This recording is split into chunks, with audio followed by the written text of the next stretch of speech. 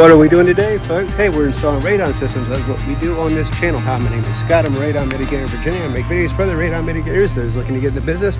And if you're a homeowner, of course, you can stay and hang out. Check out www.nrsb.org. It's right down here. If you're looking for a radon mitigator, go there, plug in your zip code, and that'll bring up a list of certified radon professionals in your area.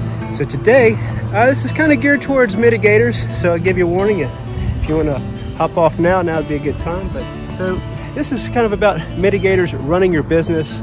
And uh, the subject today is eating it. Or if you're from the South, you say eating it. Um, so anyway, what we did here, this is a ranch house and uh, we used a high suction fan and we converted to uh, downspout to blend with that downspout and you know wouldn't get these wide overhangs it's best to go ahead and, and use similar materials uh, if you use pipe uh, the angle would have been much more severe because that's 45 and that's like 60 or something like that so that's how we went that's how we did but something happened to me today and I wanted to share it with you and how we handled it and sometimes it just ain't your day man, I've got a good joke that goes with that. But I, I keep this channel clean. If you see me at the bar sometime, I'll share it with you. um, so, uh, when you're setting up your radon mitigation systems, uh, one thing that's always of concern is how do I power the fan? Once you get everything lined up, you know, outside and get that jiving with inside, then you got to figure out, all right, where's the juice going to come from? So, uh, what we did was today we used the master bedroom, pay no attention to this stuff on the left here. All right, so the master bedroom, got an outlet, fans running hunky-dory, cool. So I'm doing my thing down here, you know, uh, making the suction pit happen. And what do I do? I need to hook up my shop vac. I need to hook up my big boy drill. And I plug in the shop vac to this outlet that's on the other side of this window here. It works for a little while and then it peters out boom, done. No more, no more juice. And so we troubleshoot it as best we can. And we even replace the outlet. I've got brand new outlets on the van.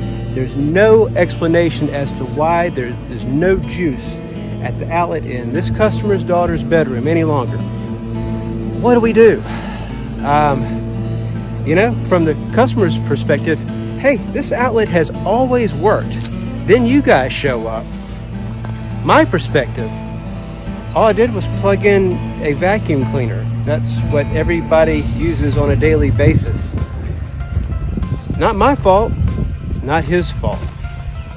What do we do?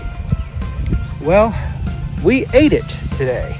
Uh, we decided, we, we said, look, you got two choices on how to get electricity back to this outlet.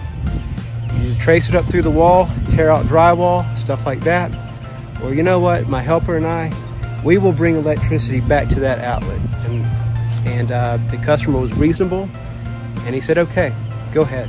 So this is what we did. It's not the prettiest thing in the world, but there's an upside. I try to stay positive. okay, so that's his master bedroom. We got juice going to the fan. We went ahead and we did an external run here because uh, other the uh, the alternative was ripping out drywall and we're not going to do that. Uh, that's between him and electrician. Uh, this was all freebie from us to him, uh, just to keep things going smooth. Ran it down here, and then back in there.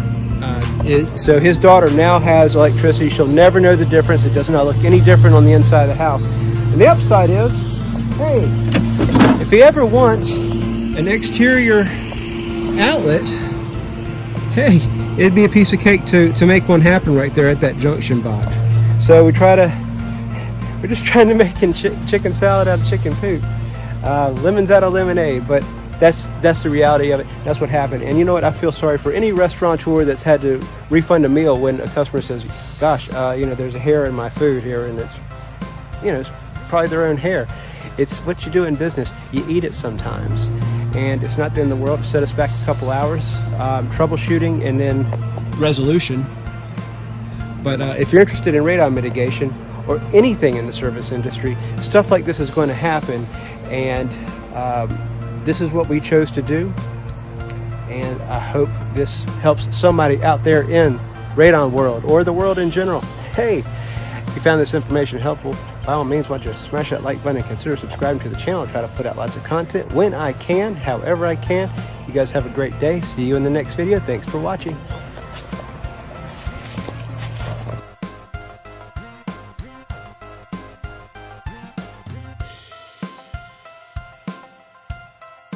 Question